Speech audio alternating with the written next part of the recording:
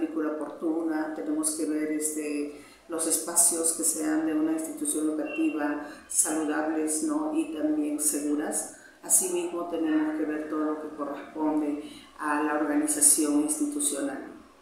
Ahora, eh, dentro de las 20 provincias, ¿cuál es la que está presentando mayor dificultad? Bueno, tenemos este, una multiplicidad de problemas en lo que corresponde, son diversas. Realmente lo que corresponde a la zona costa, como son Casma, Guarney y Santa, son este, provincias que requieren de mucho apoyo con personal docente, directivo, administrativo y de servicio, dada la coyuntura que se ha generado con la presencia de muchos asentamientos humanos, se ve la urgente necesidad de poder apoyar con el programa de racionalización de los docentes.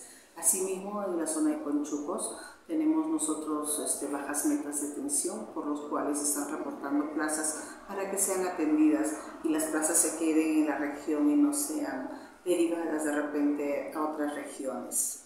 Ahora, este, en torno a los concursos de plazas que se está dando para la asignación de docentes contratados, ¿se ha presentado algún tipo de problema o todo se cumple dentro de la normalidad? Bueno, eh, estamos manejando en esta época de la virtualidad, las UGELs tienen sus páginas y las está publicando. No estamos observando problema alguno, sino que todos van este, sustentando el cumplimiento de las metas porque son metas que hay que, hay que cumplirlas a través del desempeño. En ese sentido, hay un cronograma que se ha establecido salvo algunas situaciones como algunas ojeles en el que ha habido alguna dificultad, pero ellos piden permiso para nosotros generar resoluciones para una ampliación. Pero por lo demás todos estamos cumpliendo el cronograma establecido desde el Ministerio de Educación